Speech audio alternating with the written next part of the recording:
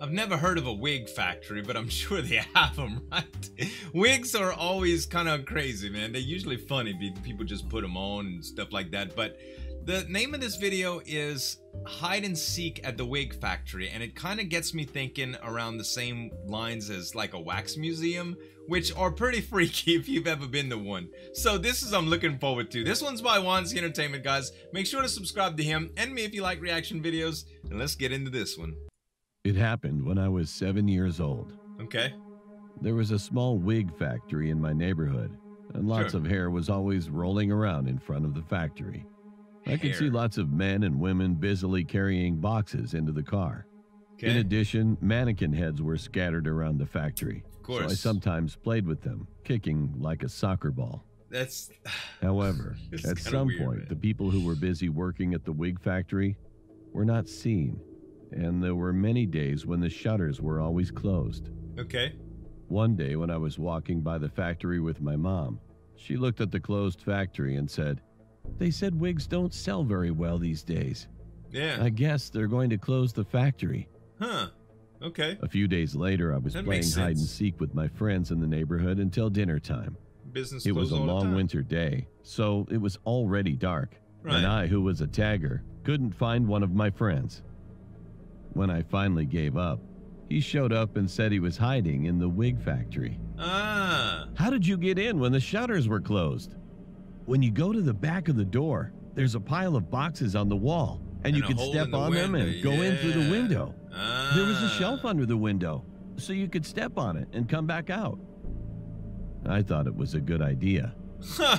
and as soon as the next tagger was decided, I ran to the factory with one friend. Right.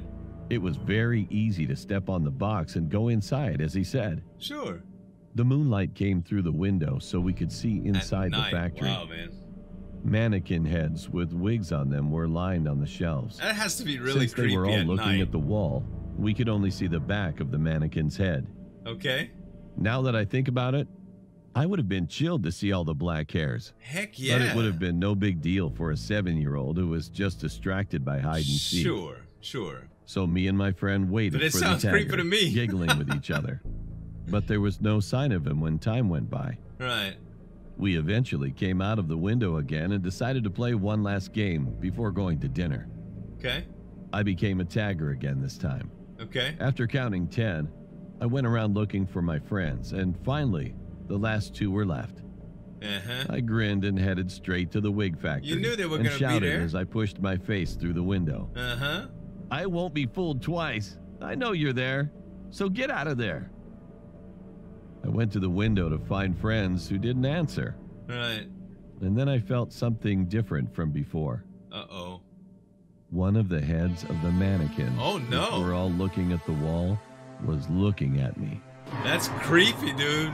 The moment I made But it's eye a mannequin, contact right? it, I felt like my whole body was electrocuted, and my heart dropped because the mannequin had a torso, unlike other mannequins. Oh.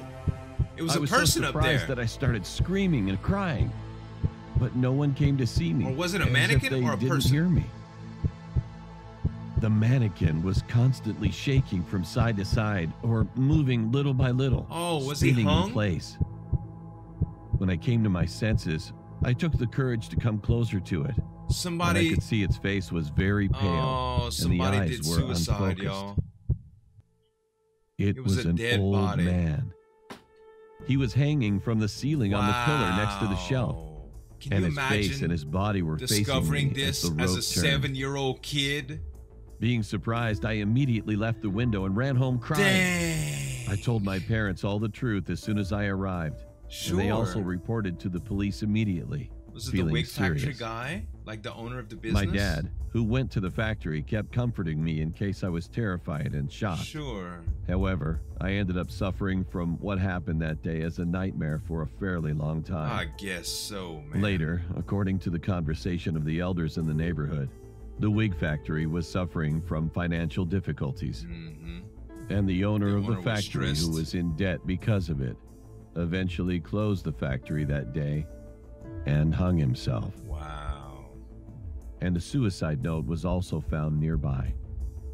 The corpse I saw for the first time in my immature man. days gave me a mental trauma. Oh, I guess so. And after that, I could no longer watch the scene that people Talk hang themselves in PTSD, movies or dramas, Sure. even now.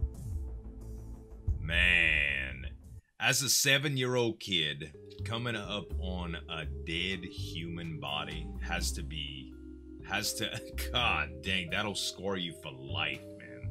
I've, I've seen a couple of traumatic things in my years and never as a kid, right? But like a couple of violent acts in person. And when you see stuff like that, it follows you for so long. It's so hard to get out of your head. You keep replaying the situations over and over and over again for the coming weeks. You have nightmares about it. It's that's some real stuff, man. Whew, for a seven year old too. God, yo, this was some good story. This was a good story. The Entertainment, man. Make sure to subscribe to him as well as me if you like reaction videos. Thanks so much for watching. As always, this is Zueljin signing off. We'll see you next time.